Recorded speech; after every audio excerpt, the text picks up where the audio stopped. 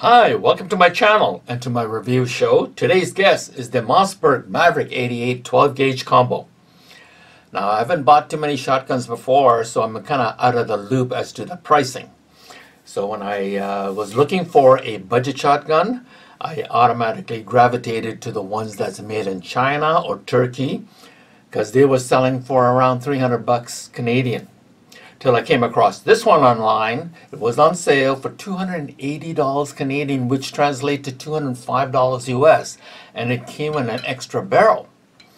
So I bought it. And I thought to myself, well, why should I buy one that's made in China or Turkey when I can buy one uh, assembled in the USA? I know the parts are made elsewhere, but at least it's assembled in the USA. So, um, so today I'm going to do a review on this and see if it's worth buying. I'll be back.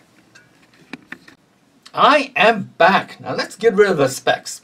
The AOL for the 18.5 inch barrel is 38.5 inches. The one for the 28 inch barrel is 48 inches. The weight is six and a quarter. The weight for the 28 inch barrel is seven pounds. The capacity for the two and three quarter inches shell is six plus one. For the three inch shell is five plus one. The LOP is 14 inches and the trigger weight is between 3 and 5 and that's all over the place. Not very consistent. Okay, let's start with the review. Uh, this is what came with the package. I got a manual, a trigger lock, and a choke tool.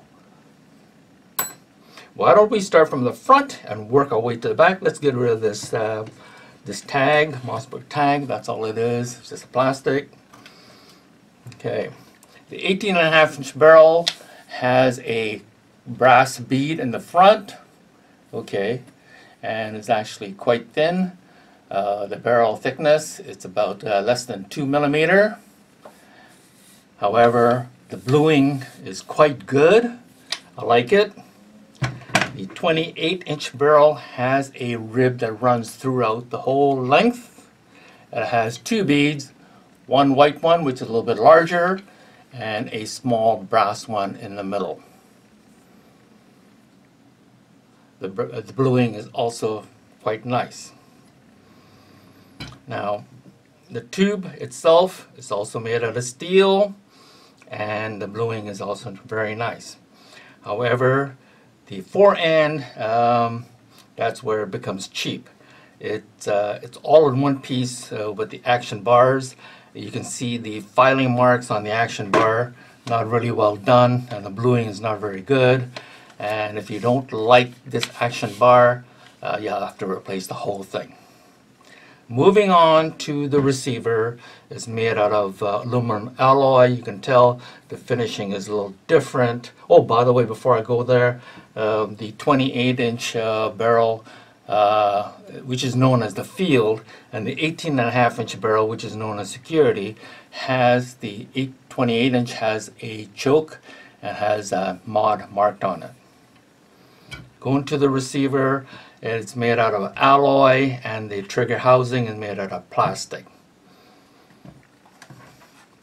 The stock seems rather thin, made out of uh, polymer, but it has a nice cushiony uh, rubber uh, pad for at the end of the butt uh, butt plate. And uh, at the bottom it has a, a little place for your swivel and of course, uh, the tube uh, screw also has a place for the uh, swivel. Now, the Maverick 88 model safety is uh, on the trigger housing. Unlike the other two models, uh, the 500 and 590, uh, it's on the tang. This is on the. This is actually more convenient if you have a pistol grip. You know, you can actually switch from safe to fire just by pushing it. Okay. The fit is uh, between the stock and the receiver not exactly perfect, but not bad. So, okay. So um, to load, you have to press this button, pull the fore end back.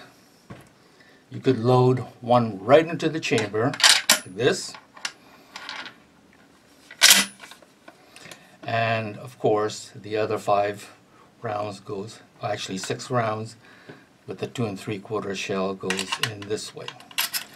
Goes in goes in like that. Okay? And so after you push from safe to fire like that ready for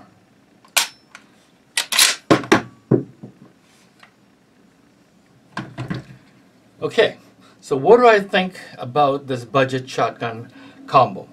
Uh, I like it. I think it's uh, for the, for the price, it's really a good deal. Uh, you're getting two barrels, um, and uh, and although this isn't uh, ideal, uh, I do have plans to change that, and I also plan to change that stock. So um, yes, I'd rather be buying this than the ones that made in China or Turkey. Thank you very much for joining me. Please hit the like and subscribe button.